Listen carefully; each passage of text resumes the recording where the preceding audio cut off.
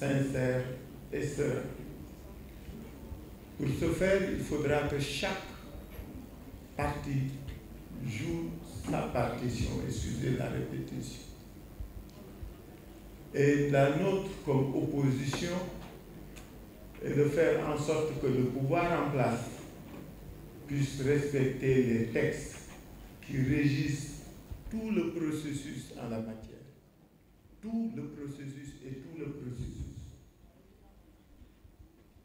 C'est pourquoi nous nous félicitons de cette présence de cette participation belle, de tous ces leaders aujourd'hui réunis, afin que le Sénégal puisse rester un pays respecté en matière de démocratie. Nous allons certes connaître un scrutin particulier.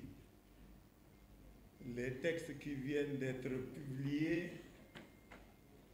laissent pantois beaucoup d'entre nous qui avons l'expérience des élections dans ce pays. Ceci est particulier. C'est aussi particulier que ce que nous avions vécu. Qu'une force d'opposition puisse être élue au premier tour dans une élection dans ce pays. Donc ces moments particuliers que vit notre pays être, doivent être des moments où nous devons nous réjouir de la qualité du jeu démocratique. Mais ils peuvent être aussi des moments de lutte et de confrontation si c'est nécessaire, puisque la démocratie sénégalaise, sa préservation en vaut la peine. Donc notre structure est une structure de concertation, de réflexion, mais c'est aussi une structure de lutte afin que les règles démocratiques puissent être respectées dans ce pays. Par la confiance des leaders, je me retrouve ici pour porter la parole, ou leur parole. Donc je ne vais pas être bavard puisque je suis entouré de responsables qui vont intervenir chacun dans une matière. Nous avons voulu cette cérémonie sobre. C'est pourquoi elle sera courte, puisque ce sur quoi nous sommes attendus, c'est notre capacité à nous battre sur le terrain pour que ces élections soient transparentes, sereines et sincères. C'est important. Donc, euh, le, le cérémonial est le suivant. Nous allons donner la parole au président Thierno qui va lire le texte fondateur de notre alliance. Quand il aura fini, le président Pape Djibifal nous lira le... Non, donc toi tu interviens en dernier. Alors, après c'est Madame la Présidente Anta Babakar Mbaye.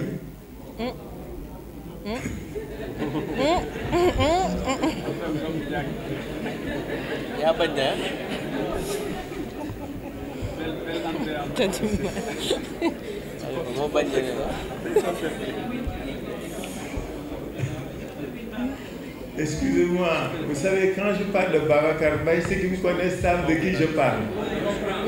Voilà. Et malheureusement, c'est comme ça, j'arrive pas à m'adapter depuis 20 ans. Donc je m'en excuse. Et c'est ma fille en plus.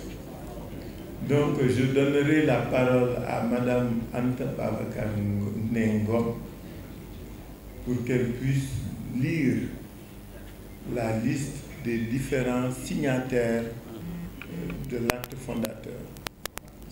Nous avions pensé faire une cérémonie de signature, mais on ne peut pas faire. On est plus de 100. Donc, elle va faire la lecture. S'il n'y a pas de contestation, on considérera que la, liste est la bonne et elle est validée. Et après, le président Pape Djibril Fall nous lira une résolution pour clore notre séance de ce jour. Est-ce qu'il y a des observations? Est-ce qu'il y a des objections? Oui, Maître Elage. Vous avez la parole.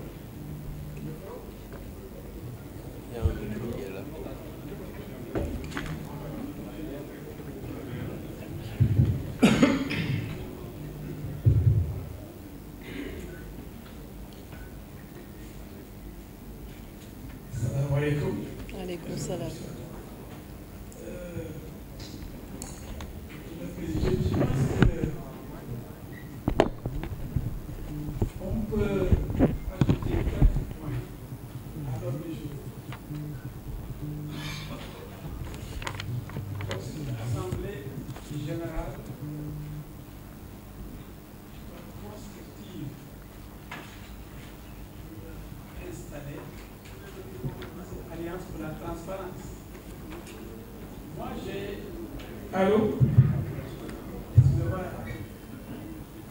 Je pense qu'on peut aller plus loin et profiter de cette occasion pour faire des propositions.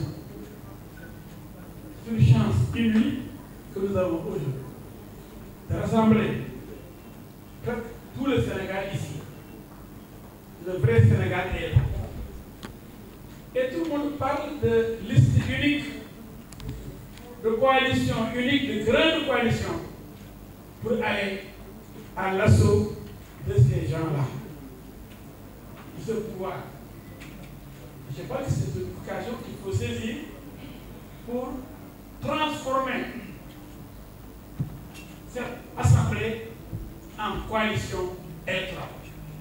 Et c'est une proposition que je voulais faire pour qu'on puisse immédiatement évoluer vers cette coalition électorale avec maintenant une générosité politique. Qu'on ne se mette pas chercher des postes à combattre tel ou tel. Non.